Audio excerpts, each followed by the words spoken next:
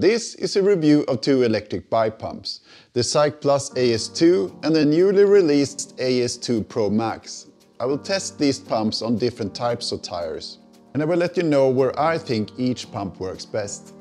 The smaller AS2 was released about a year ago and got some attention here on YouTube for being so small and portable that it could replace a couple of CO2 cartridges, or a mini pump for that matter.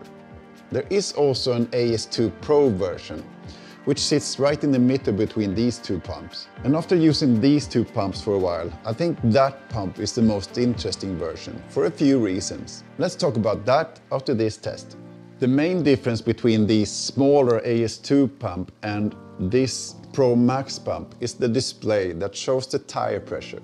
The Pro versions also have larger batteries, a higher airflow and the ability to pump tires to a higher pressure as well. The smaller AS2 pump has been criticized by some to not being able to pump higher pressure tires. I will test this shortly. Let's start with my trusty old dirt jumper. It's got 26 inch wheels and a pair of 2.2 inch wide tires. Not big tires by any stretch, but dirt jumpers need around 3 bars, which is more than you would run on regular mountain bike tires. The valve here is also different than what you find on most other bikes, except for kids bikes. These are Schrader valves and all pumps come with parts to fit both Schrader and the more common Presta valves. But there is some fiddling to change between the two different versions, and I don't think you can use these pumps on Dunlop valves. I had to use a pair of pliers on this smaller pump to loosen the nozzle cap, and by doing that I found something interesting. I was certain of that the cover and the nozzle cap of the pump were made from plastic, since that's what it felt like to the touch. But I managed to scratch both parts and saw that everything is made out of metal. I was about to complain about using plastic parts, especially on the nozzle cap, which has threads in it. So in the end, scratching the pump was a good thing.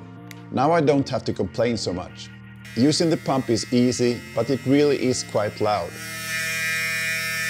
I timed the pump from absolutely 0 to 1.8 bars, which is about what you have on a regular mountain bike. The AS2 has got a smaller battery and the capacity should be around 2 uses, depending on tire and pressure. Here I got almost 4 full tires, which was a surprise. Let's say 3 full uses for these tires with some spare. The larger Pro Max was delivered with a hose, which you can use or not.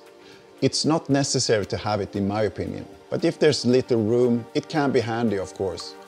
The hose can be bought separately for the smaller AS2 pump. The target pressure can be set for the Pro and Pro Max, and the pump will automatically stop pumping when the target pressure is reached. But the biggest benefit is of course that there is a display in place, which shows the tire pressure in real time. This is very useful for mountain bikers who wants to tune the pressure when biking out in the woods. I got bored pumping this tire with the Pro Max pump and I didn't bother to find out how many uses the batteries got used for but the battery is twice the capacity, so let's say 4 to 6 uses in this case. But there are other types of tires which I need to test the pumps on, so I paid my friends at Specialized Concept Store in Gothenburg a visit. They've got all types of tires that I need. Let's pick something expensive, like this brand new, super cool Tarmac SL8 Expert. Carbon all over of course, and with thin tires that need a pressure between 6 to 7.5 bars I think, somewhere around that. But apparently a few crazy riders wants to have up to 11 bars sometimes, which is something that not many pumps can cope with. Battery powered or manual mini pumps. You need a proper compressor pump for that or a very good floor pump. The small AS2 pump is on the limit here with its claimed 6.9 bar max pressure. I think it holds up pretty well though, and it doesn't struggle as much as I thought it would. I read in forums that a few complain about the top end, while others are perfectly happy. But luckily there are the Pro versions as well, which can deliver higher pressure and do so quicker too. CO2 pumps are of course much quicker than even the Pro Max pump. In any bike race I don't see an electric pump as an alternative. But when training I feel this is a bit more convenient to use. And with the silicone sleeve, the Cycplus pumps are nice to grab. And it can be used several times. Mini pumps is the third option that many, if not most riders use, including myself. There are good mini pumps available, but it's definitely a workout to use them.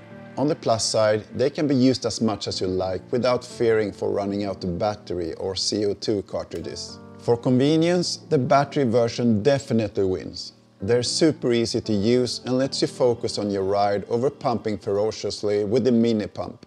And I think that the Pro Max pump can even replace larger pumps than mini pumps. Like when you're out with your family to a trail center and you quickly want to top up everyone's bikes before riding. Next bike is this Specialized Enduro, a bike that I love riding and it's one of my absolute favorite enduro bikes. Super nice rear end on this bike, but we're here for the tires. This is a 29er with 2.3 inch wide tires. In reality, it's actually closer to 2.4. Not that it matters much in this context, I just wanted to mention it. In this test, I also want to check how reliable the meter on the Pro Max version really is. I borrow a dedicated pressure meter from Specialized to compare with, and the two meters seem to match pretty well. This isn't an exact science, but the accuracy of the Pro Max is good enough for me. I got around three full tires with a smaller pump. But let's say it can do two big mountain bike tires and I'll be on the safe side. If you're on an e-bike, you might be lucky and have a charge port available. Charging the pumps is quick and it only took me around 15 minutes to charge the small pump and 30 minutes for the larger pump from almost empty.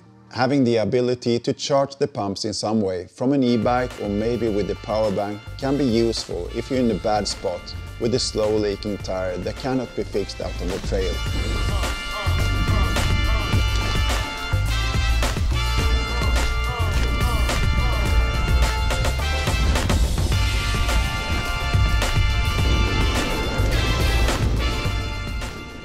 The final test is a size test. On many specialized bikes there's a hatch with loads of room inside, but that hatch is somewhat small. The smaller pump fits easily in this bike